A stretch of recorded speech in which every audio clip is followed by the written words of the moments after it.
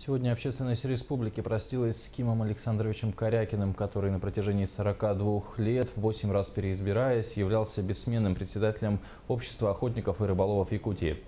В 1969 году он был назначен руководителем охот рыболов общества Якутии и фактически стоял у истоков его становления и развития. В годы, руков... в годы руководства Кима Корякина численность общественной организации достигла более 80 тысяч человек. По его инициативе общество одним из первых в России принимало участие в развитии иностранного туризма по рыболовству и охоте на территории Якутии.